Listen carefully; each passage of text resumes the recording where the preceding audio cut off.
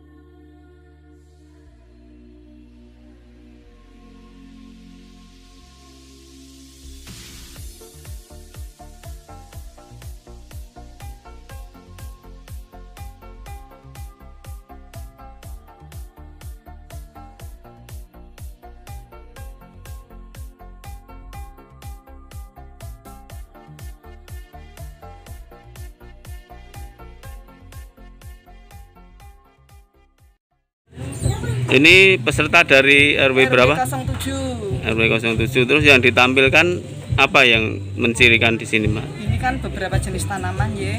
Ada tanaman dari toga untuk obat, tanaman sayuran, tanaman buah, dan tanaman hias. yang mau diperbanyak itu baru apa buah jambu itu kita sambung jadi buah jambu ke varigata Terus keunggulan yang lain apa?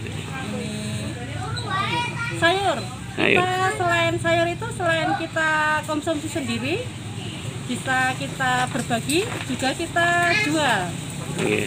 sayur tuh sayur yang bibitnya itu kita menyediakan sayur sama itu pupuk pupuk yang media itu buat- Medianya sekaligus, jadi Oh, gitu memang ya. dipusatkan di sini untuk RW 07 Pak. Oke. Walaupun di setiap warga itu kita punya, tapi tetap difokuskan di sini sehingga kalau kita ini tadi pada eh, lomba pemanfaatan lahan pekarangan terbatas ini tema kita lahan terbatas memberi apa bermanfaat secara ekonomi dan kebersamaan. Iya. Iya, dengan adanya lomba ini harapannya apa, Mbak? Ya sebenarnya lomba ini setiap tahun barangkali yang kemarin yang tidak ada ya. Ini memotivasi eh, warga di sini. Dengan lahan yang terbatas kita bisa memanfaatkan. Dan itu dari sisi ekonomi juga memberikan nilai tambah. Karena tidak harus membeli, Nak.